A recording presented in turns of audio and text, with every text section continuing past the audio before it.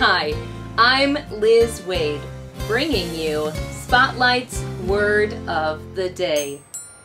Today's word is glow. This word comes from today's program, The Disappearing Dark Night Sky.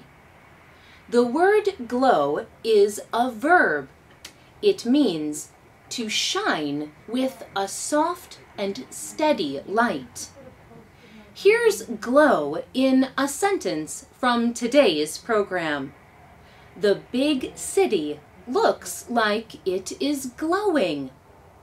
In the comments below, try using the word glow in your own sentence. And join us next time for another Spotlight Word of the Day.